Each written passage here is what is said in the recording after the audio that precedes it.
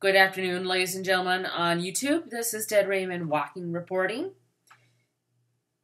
I had come to make this video because it is June 2nd, and on this date, about a year, well, it was actually a year ago, that an English, an English actor named Peter Sallis, who was in a variety of shows, including being Clegg in Last of the Summer Wine, as well as being Wallace and Wallace and Gromit had passed away on this day.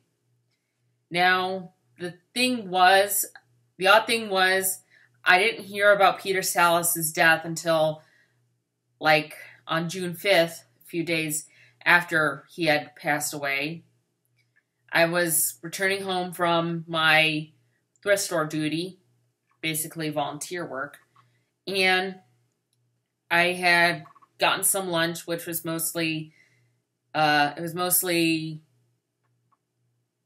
Chef Boyardee beef ravioli, which I lived on for the past couple months when I lived at my parents' house.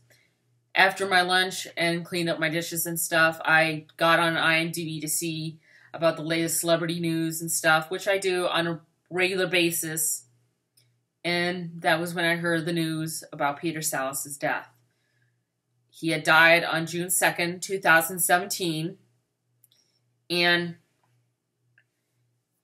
when I heard about his death, I started binge watching the Wallace and Gromit films. Wallace and Gromit, Grand Day Out, Wrong Trousers, A Close Shave, and Curse the Were Rabbit. The only Wallace and Gromit film I don't have is is um A Matter of Life and Death.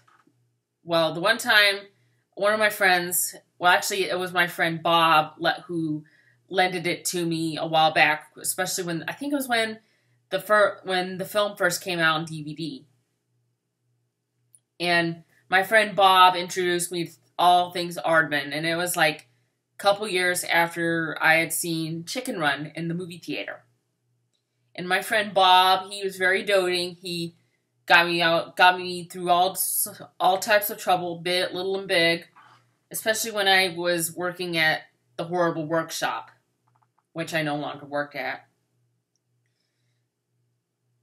When he left the clinic, I we started writing letters to each other, and I when I um, when I heard about Peter Sallis's death, I wrote in the letter that that Peter Sallis had died, and he was quite saddened, but he was he said it was not a tragedy, and I have to say his death was not a shock to me neither because I knew that because of his age and of his health, including him having macular degeneration, he was going to die any moment.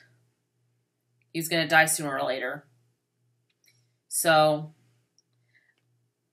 I also I also when I heard about Peter Sallis's death, I also did a few coloring pages of Wallace and Gromit they were there. One was um, just a picture of Wallace and Gromit. One of them was a scene from a Grand Day Out where they're on the moon eating the cheese and stuff. Because you know, that's my air conditioner kicking on. Ignore that, people. Because in Wallace and Gromit Grand Day Out, Grom- Wallace com- Wallace always claimed that the moon is made of cheese, and every and there's a myth that the moon is made of cheese. So anyway, they go to the moon grand day out and they enjoy and they somewhat have a good time there. I know I know there's not many fans of Aardman here in the United States, save for me and Bob. And I know there's a lot of I know I remember about a year ago when I saw a couple videos of a few British people grieving for Peter Sallis. And I have to admit, Peter Sallis was such a great voice actor, and he was a great actor. I mean, whenever I have a chance possible, whenever I have a possible chance, I usually watch Last of the Summer Wine on one of my PBS affiliates that I get. I get like a couple PBS affiliates.